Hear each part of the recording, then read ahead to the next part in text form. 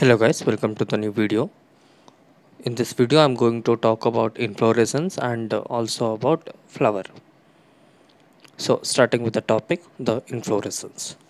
A flower is a modified shoot wherein the shoot apical meristem changes to a floral meristem so flower is a modified shoot okay? So here the shoot apical meristem changes into the floral meristem okay this is how the flower is born. Internodes do not elongate and the axis gets condensed.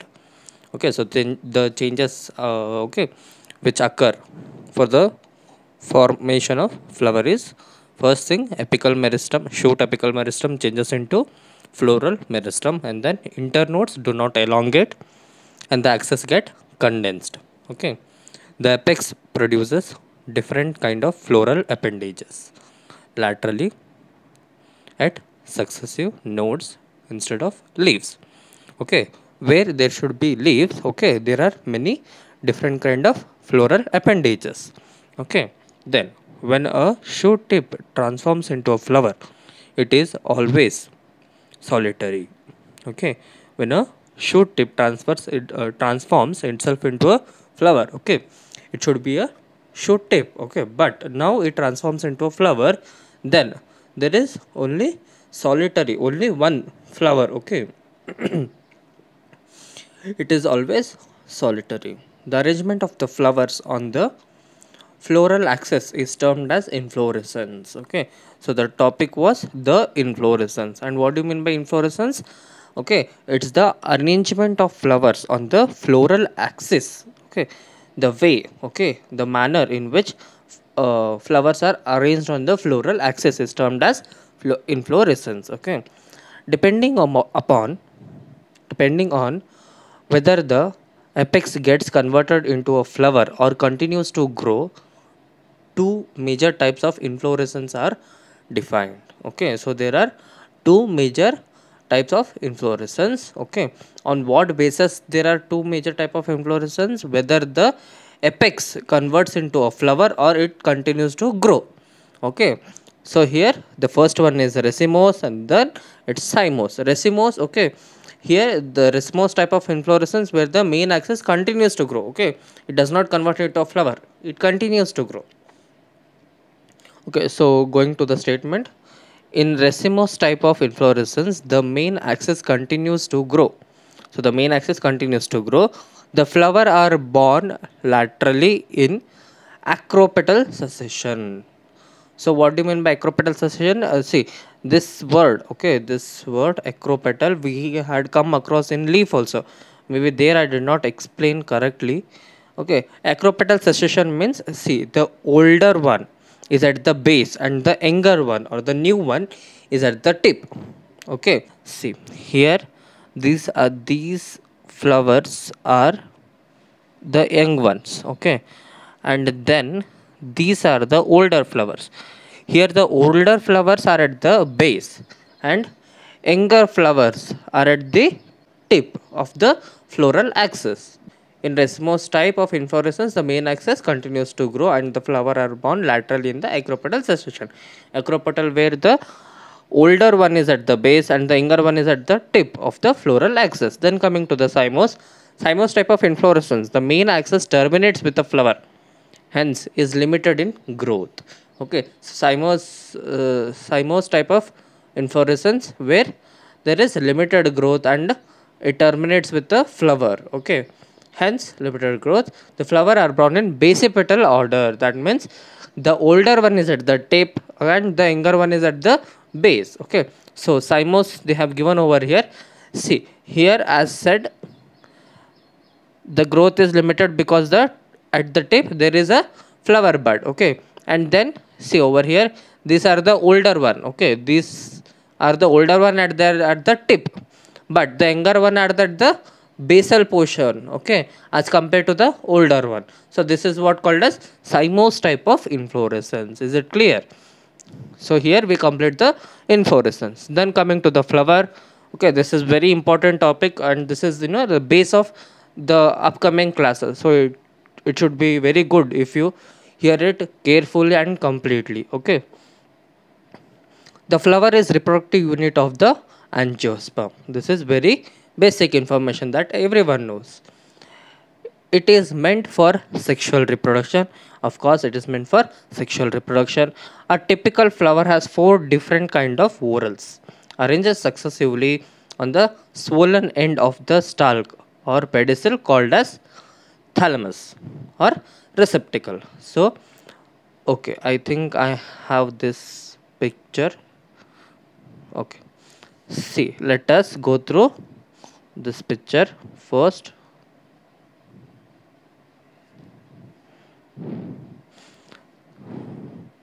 over here see this is the receptacle okay at the last part okay or where from the flower originates that is the pedicel then comes the receptacle or the thalamus. Then we have sepals then we have petals then we have stamen and a carpel. Stamen is the male reproductive part that has anther and filament and carpel is the female reproductive part which has four major components that is the stigma style ovary and ovule. Okay. Okay. Then here we were missing one part that is bract. Okay.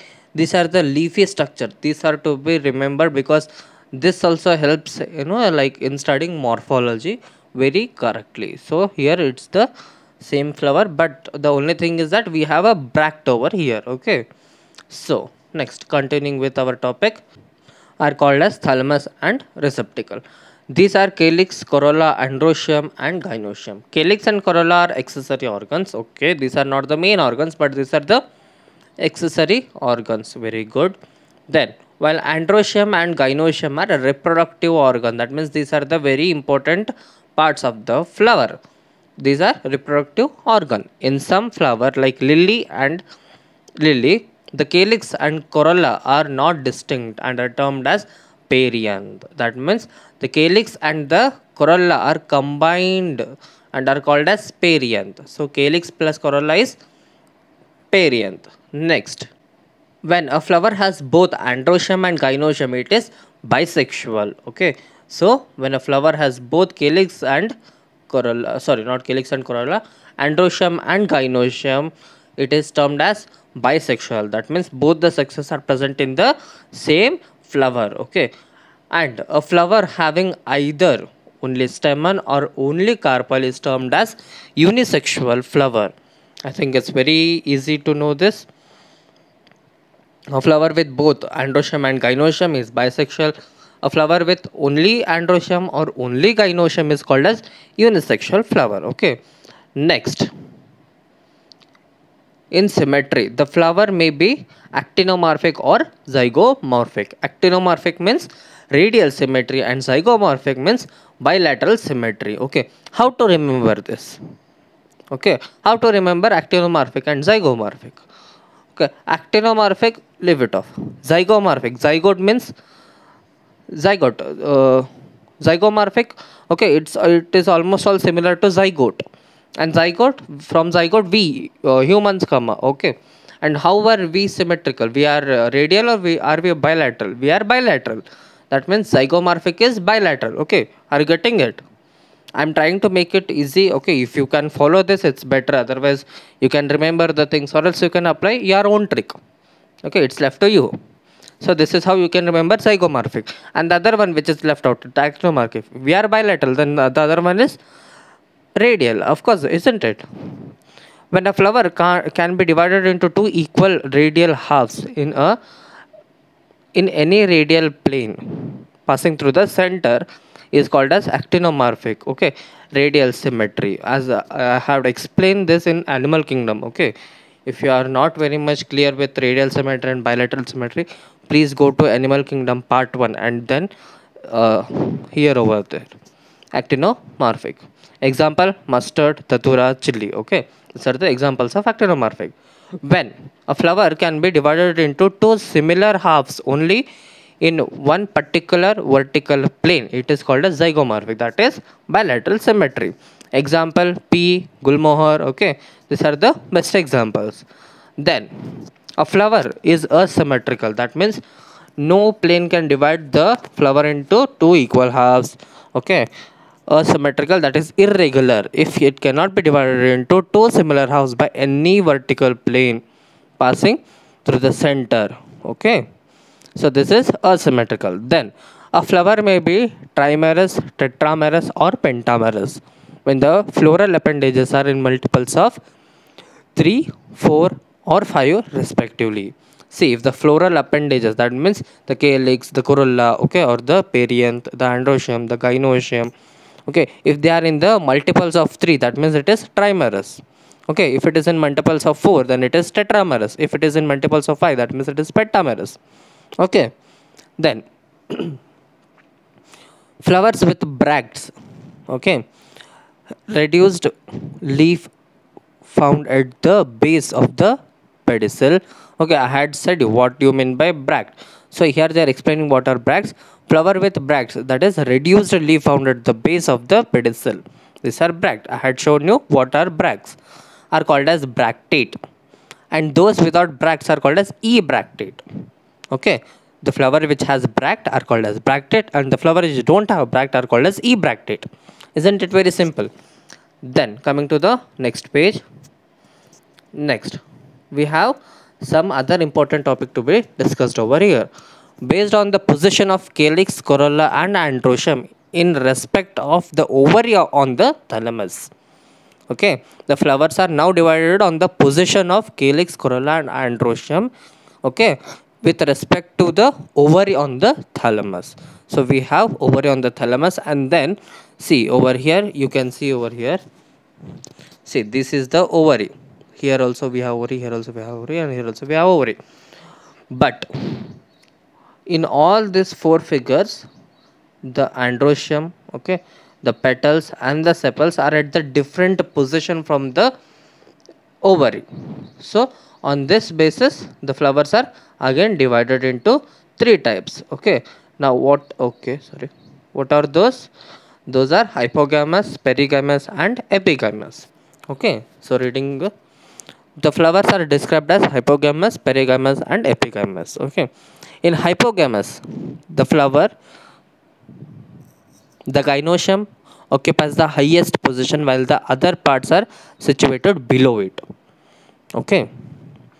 The ovary in such flower is said to be superior. Example is mustard, china rose and brinjal. Okay. Is it correct? Are you getting it? See, when the ovary is at the superior position as compared to other whorls okay?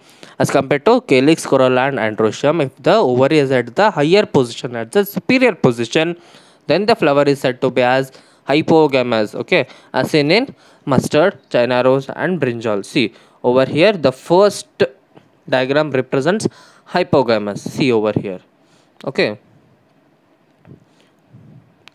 see here uh, the ovary is at the higher position. Then comes the androecium then the calyx and then the corolla that means the petals and the sepals. Okay are you getting it?